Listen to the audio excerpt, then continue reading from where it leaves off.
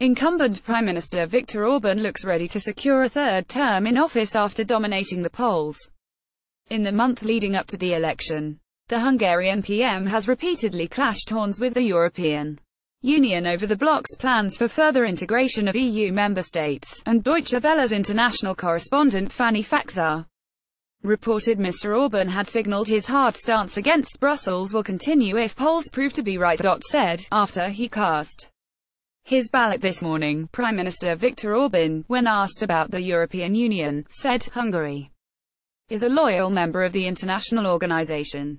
But at the same time, he said, the European Union does not mean Brussels, it means all various European capital cities. Deutsche Welle Hungary election 2018, Orban is expected to give the EU a headache with his Eurosceptic agenda. Asher continued, of course this falls in line with his campaign rhetoric that not only Hungary but other countries deserve more sovereignty within the European Union. It underlines that he is going to continue to push ahead with his vision for a more sovereign EU where member states have more sovereignty. The latest election polls predict a landslide victory for the Mr. Orban's Fidesz, Hungarian Civic Alliance and the Christian Democratic People's Party, KNDP, with upwards of 40 points in the polls.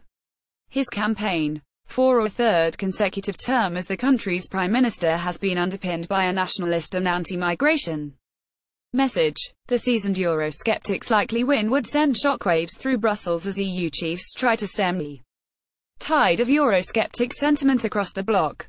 The European Union does not mean Brussels, it means all various European capital cities Viktor Orban Mr. Orban's party, Fidesz, has an absolute majority of 114 out of 199. MPs in the Hungarian parliament, almost a two-thirds majority. The Hungarian PM has often styled himself as the self-appointed defender of a Christian Europe, earning his popularly with Hungary's right-wing elements.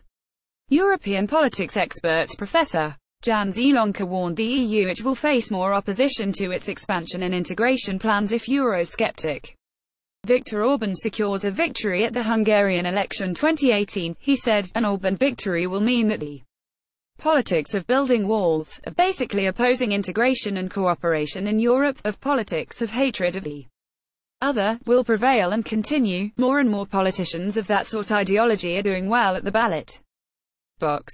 Orban is a pioneer in a certain sense, he was the first to say, I don't want to have a liberal democracy.